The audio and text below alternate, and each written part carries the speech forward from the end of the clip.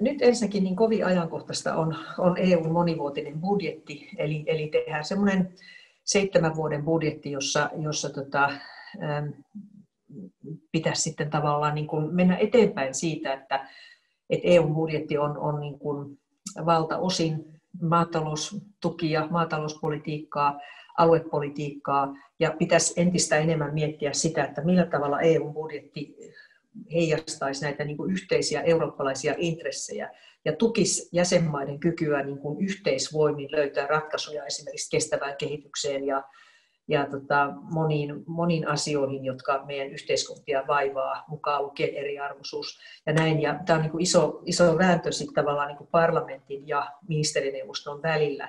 Et, et se on se niin kuin perusjännite, että komissio tekee esityksiä ja sitten tota parlamentti ja ministerineuvosto joutuu sitten vääntämään kättä siitä, että mihin se, mihin se tota, niin kuin kompromissi asettuu. Ja, ja parlamentti on näissä väännöissä aina niin kuin enemmän siellä sen niin kuin yleiseurooppalaisen intressin ja yhteisen intressin, ehkä niin kuin lisäarvon tuottamisen puolella, niin kuin tälläkin hetkellä, että me puolustetaan semmoisia eurooppalaisia ohjelmia kuin esimerkiksi tota Eurooppa-horisontti, jonka tarkoitus on nimenomaan niin kuin yhdistää eurooppalaisia innovaatioiden ja, ja, ja tutkimushankkeiden edistämiseen.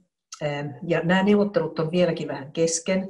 Sitten sitä niin kuin vaikeuttaa se, että, että tota, nythän sitten kesällä niin on, on, on päätetty siitä, että tulee tämmöinen New Generation Europe, joka, joka haukkaa tästä monivuotisesta budjetista niin kuin minusta tota, yli, onko se, meneekö 40 prosenttiin sitä luokkaa. Ja, ja siihen on aivan erityisesti niin kuin nyt parlamentti onnistunut ajamaan läpi kriteerejä sille, että näitä rahoja ei käytetä mihin tahansa, vaan tota, niillä on tiukat tavoitteet ja, ja kriteerit, jotka määritellään EU-tasolla.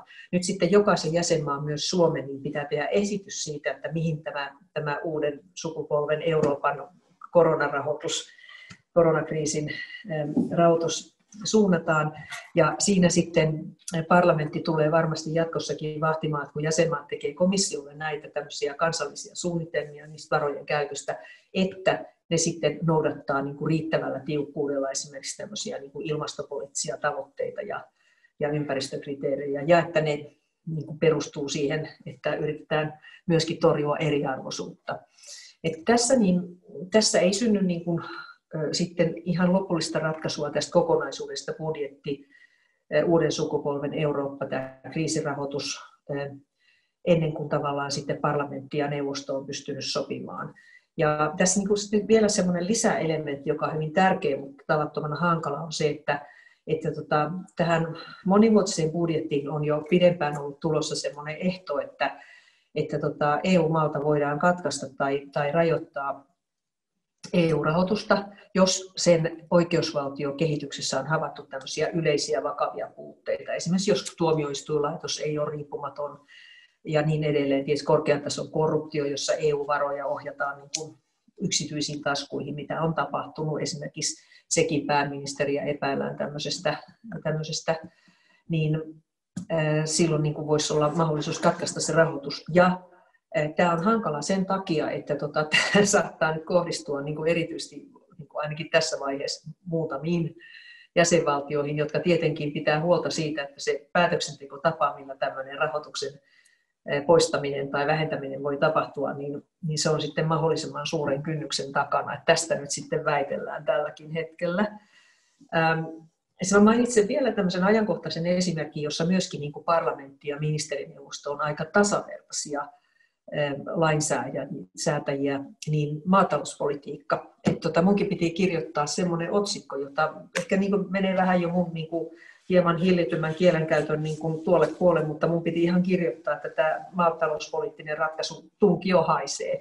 Ja olenkin saanut tästä hieman paheksuntaa. Ja tiedän kyllä, että hyvä komposti, hyvin hoidettu komposti ei haise, mutta, mutta huonosti hoidettu tunkio voi haista. Ja Tällä viitattiin siihen, että, että vaikka EU on sitoutunut tähän vihreän kehityksen ohjelmaan Green Dealiin, joka on minusta niin kuin iso, iso saavutus siinä, että koko EU on nyt näin päättänyt, ja, ja tota, mutta käytännössä sitten kun ruvetaan eri aloilla tekemään näitä päätöksiä, niin huomaa sen, että enemmän tämmöiset jäsenvaltioiden niin kuin perinteiset intressit kahmia esimerkiksi suoria pinta-alaan sidottuja tukia ilman mitään tarkkoja ympäristöehtoja, niin kuitenkin edelleen sitten tavallaan niin kuin vallitsee. Ja tämä oli semmoinen iso paketti, kolme isoa lainsäädäntöä, jossa äänestettiin sitten siitä, että miten Euroopan unionin budjetista kolmasosa käytetään seuraavan seitsemän vuoden aikana.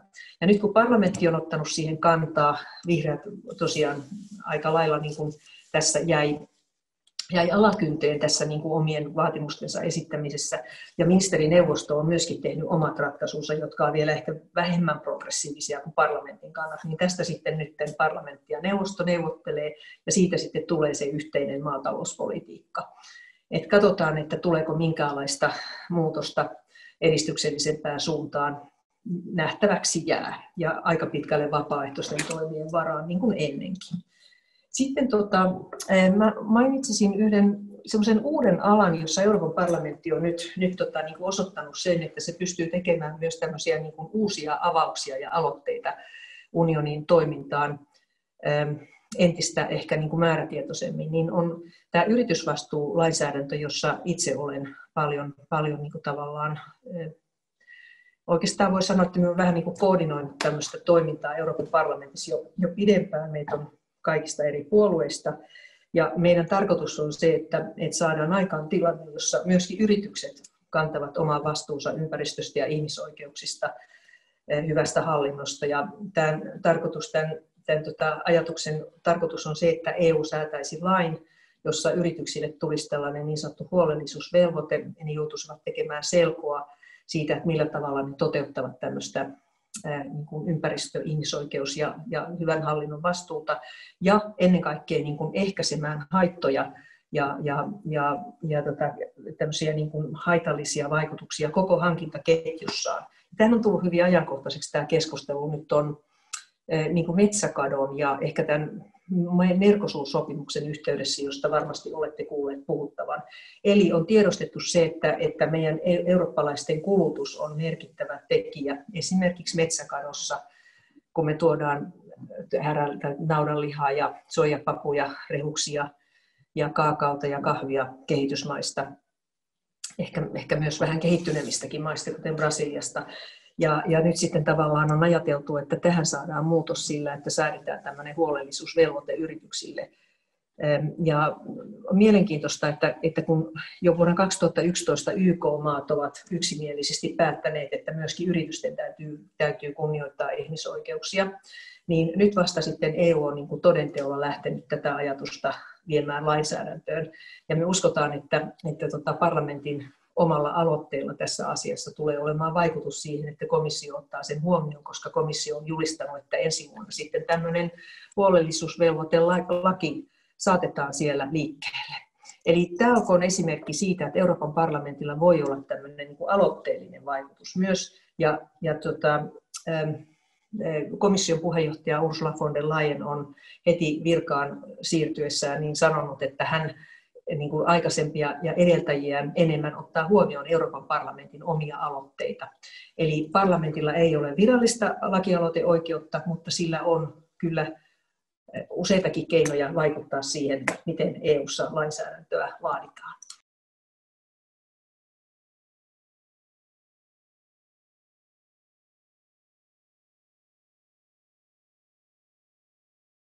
Sanoisin, että että kansalaisjärjestöt on äärimmäisen hyviä vaikuttamaan EU-päätöksentekoon. Just ennen kuin mä tulin tähän palaveriin, niin mulla oli, mulla oli webi, tämmöinen niin kuin webitapaaminen tota, mun tiimi, tiimiläisten Heikki ja Lauran ja sitten tota, useamman EU-tasolla vaikuttavan yritysvastuuta ja tätä huolellisuusvelvoitetta ajavan kansalaisjärjestön tyyppien kanssa, jossa me mietittiin, meillä on niin kuin yhteinen tavoite ja me vaihdettiin niin kuin tietoa siitä, että mitä meidän mielestä tällä hetkellä on meneillään, millä tavalla me saadaan parlamentissa enemmistö näille ajatuksille suopeaksi, millä tavalla siihen voi vaikuttaa edistykselliset yritykset kertomalla, mikä kaikki on jo niin kuin heidän agendallaan tässä ja niin edespäin. Että on, kansalaisjärjestöt on, on niin kuin mun mielestä hirmuisen hyvä tapa vaikuttaa EUn päätöksentekoon mun mielestä kai, melkein kaikki suomalaiset tämmöiset vähänkään isommat